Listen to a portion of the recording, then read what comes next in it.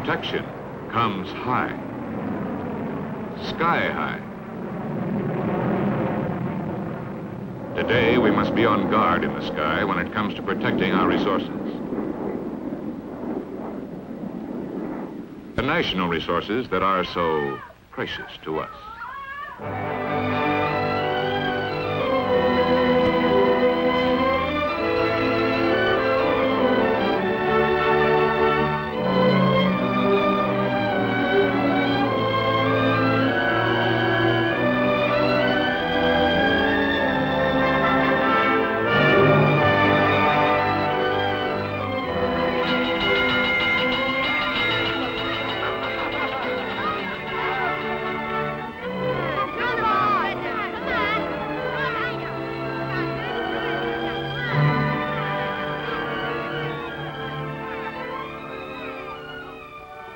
The offensive weapons of tomorrow are here today.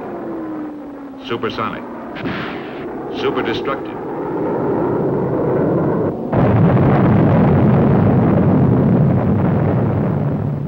seemingly unresistible.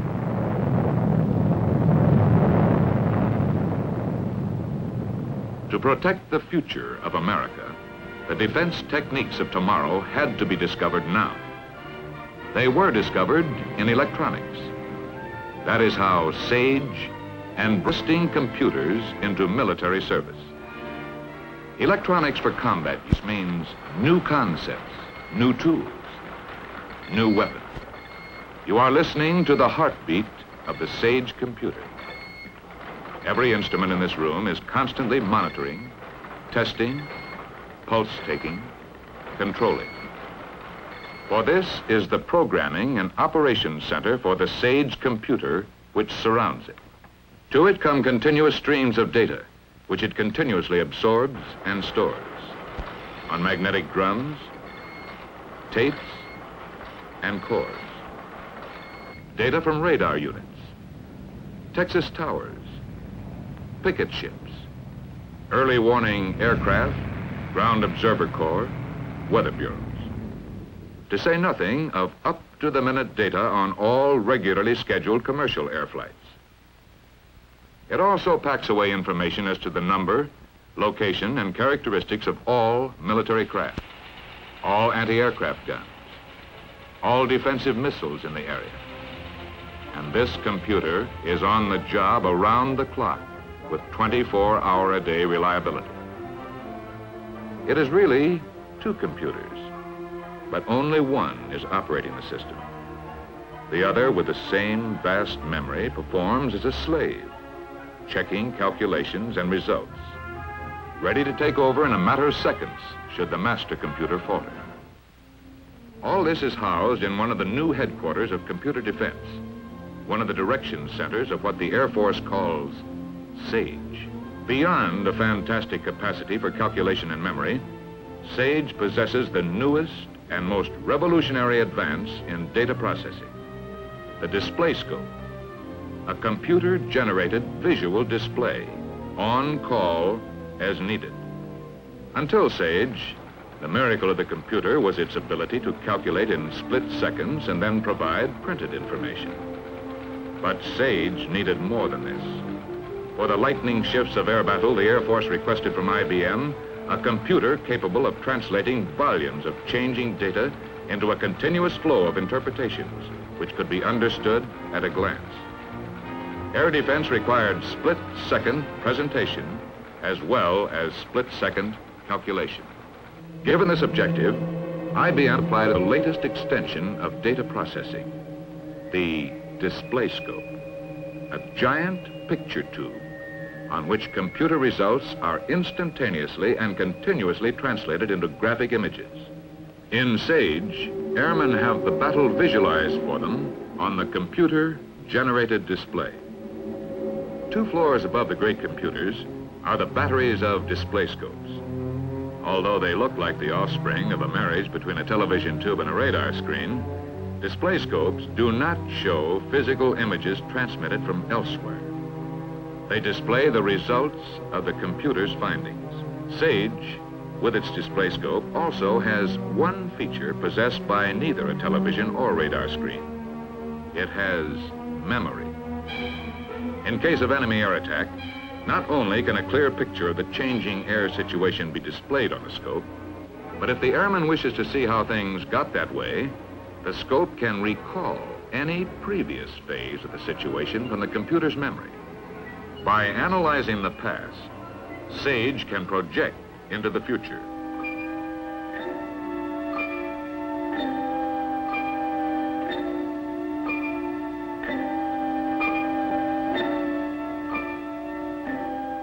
The computer can furnish information on the countermeasures available so that the officer in charge can make his choice as to when and where to fight.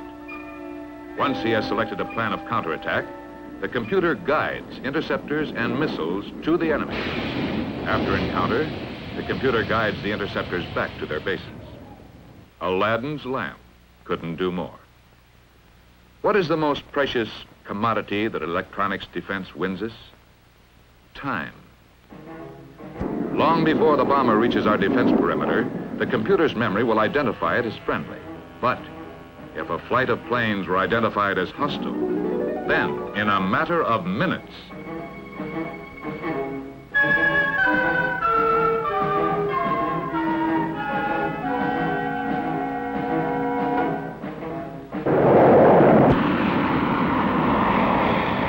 time is everything. This is electronic defense in depth. And what better reason for an effective air defense? But is this protection enough? Here is protection too. The protection which comes with the possession of weapons of retaliation. Just as our defensive powers had been advancing, so have our instruments of attack. The demands of plane warfare require the fantastic ability of modern computers. The question was, how could the electronic computer be made airborne? Problems of consequence when designing a computer for ground installation became overwhelming when it was proposed to redesign them to fit into jet bombers. First, the problem of space and weight. The interior of a modern bomber is cramped for space as is. How can a bulky computer be fitted into it? For every extra pound of dead weight carried, a bomber must add many more gallons of fuel. Second, the problem of reliability. Could a computer be designed to withstand all the stresses of flight? Weather, climate, turbulence. Third, maintenance. Could a computer be designed for easy ground and air maintenance? These and other problems were all finally solved by unique design and by employing the basic principle of modular construction. The same multiple arrangement principle which was applied in the design of this doll furniture enabled the Air Force to procure an airborne computer. By designing an electronic assembly packaged in self-contained units which are then joined, a computer of flexible construction was achieved. It can either be installed in a compact unit or parts can be distributed according to the space available. Self-contained units make it easier to achieve durable construction and easier to test each unit for reliability. Under all conditions, an airborne computer is likely to be exposed to, and some highly unlikely ones. High altitudes up to 120,000 feet.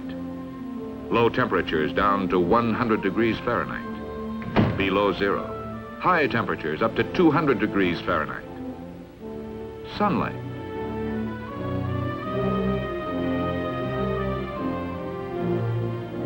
And rain tests. Life tests of mechanical and electronic units. Vibration tests. In this test, the question is not, will the computer work under this condition, but how long will it work? Once the continued capabilities of the airborne computer were established, there was only one other major obstacle, field maintenance. To solve this problem, IBM drew on its commercial experience. It converted its control panels to military use. In order to test a unit of an airborne computer, the technician merely selects the proper control panel. He then plugs the units into the test equipment, and the signal lights tell him whether the units are working or not. This puts testing computer units in the same class as testing light bulbs. Today, the airborne computer is no longer a theory, nor an experiment. It's a fact, tested, functioning, practical, and restricted. It has gone into production under the label BRAIN, bombing, radar, navigation equipment. A new plant is being rushed to completion in Owego, New York to boost its output. Here is a scale model of a B-52 showing the relative locations of brain equipment. The rest of the system, computers, periscope, and screen, are designed to take up a minimum of space and to give a maximum of use. Computers have taken wing. Hey, Phil. I got some crosshair jitter in both azimuth and elevation. Would you pull the AR-5 and replace it with a spare? Sure, Dan. Give me a minute. It'll only be a second more. Yeah, I think I got it now. Okay, the amplifier's replaced. How's the jitter? Settle down. Yeah, it's okay now. Thanks, Phil.